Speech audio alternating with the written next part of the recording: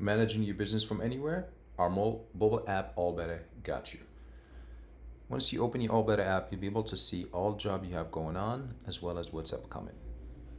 This gives you a little bit of a bird's eye view of what's happening, who's it for, and what exactly is to expect. You also have the overall earnings as well as active and pending jobs.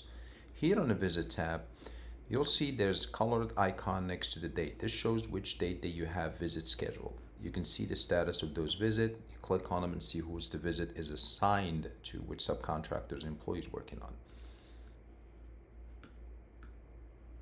You can see the staff who you selected for this. You can always update it and reselect the different people to it.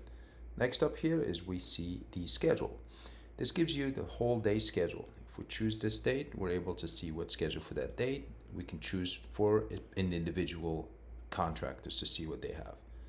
And this feature here is allow you to see your job earnings for the day, the month, as well as the full year calendar gives you also an idea of the amount of hours you spend, how much growth you have, how many clients you have, how many invoices you've generated, how many jobs you've completed, how many quotes you wrote, how many requests you've got, how many tasks as well as visit.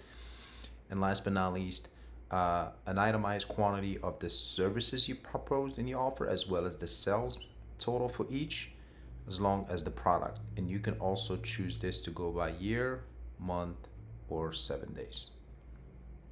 Now, want to work smarter on the go? See the full video on our website.